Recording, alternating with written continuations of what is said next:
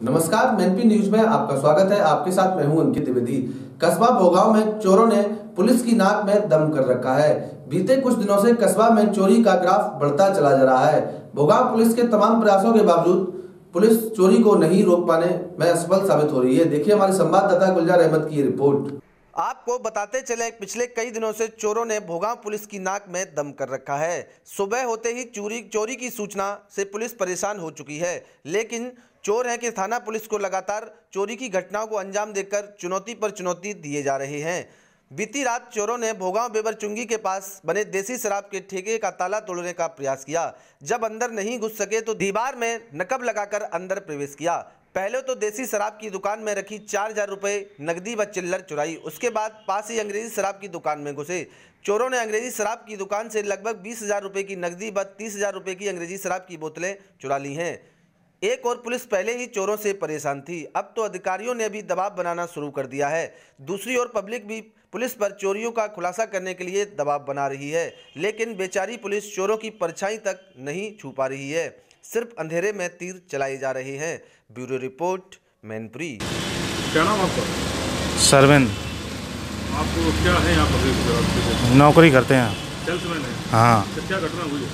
ये रात में पता नहीं बंद करने के बाद रात में किसी ने बाहू आड़ू डारू बाहू आड़ू डर फिर जाओ तारे आरे टूट दे और फिर तकी बार वहाँ में जो पिलाई लगी थी दीवार बट टोर के जो है इंग्लिश भाई बाहू आड़ू डाल दो ना आपके देसी ठेके में से क्या क्या क्या चोरी है? जो कोई पैसा ऐसा रेजगारी छोटे मोटे नोट थे दस दस के बीस बीस के और रेजगारी थी वह ले गए सब। लगभग कितना होगा ऐसे हुए तीन चार हज़ार रुपये दारू की चोरी नहीं दारू की साहब कैश गऊ केवल क्या नाम तुम्हारा?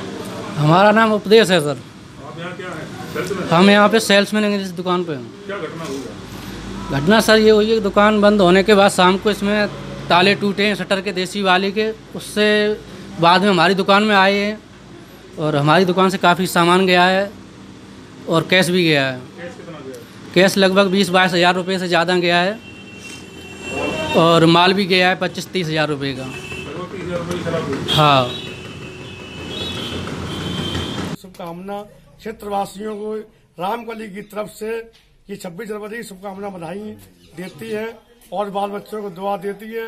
हमारा काम भीख मांगने काम नहीं है, हमारा काम बधाई लेने काम है। हम शुभ घरी में जाते हैं, शादी होती, बच्चे होते हैं, उसमें दान योगदान लेते हैं और इसमें अपना आधा भाग जनता में समाज में खर्च कर देते हैं। समाज सेविका रामकली आलीपुर खेड़ा, ये हमारी मुस्कान भरी चेला है हमारी। ये छोटी चेला है, ये ढोलक मास्टर तेज सिंह है। और ये कुछ है हमारे माँ बाप है मंगला मुखी किन्नर। में अपना मंगला मुखी किन्नर रामकली आलीपुर खेड़ा हिनावासी उर्फ़। और आलीपुर खेड़ा क्षेत्र, जिला मैनपुरी, आलीपुर खेड़ा। और जय हिंद, जय भारत।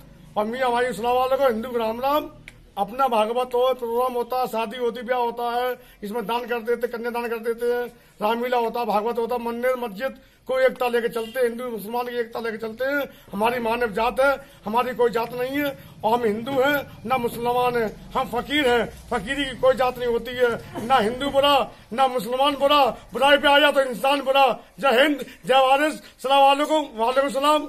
जय हिंद या वारिस। अल्लाह वारिस। जय साई जय बाबा। जय हिंद जय भारत जय माता की।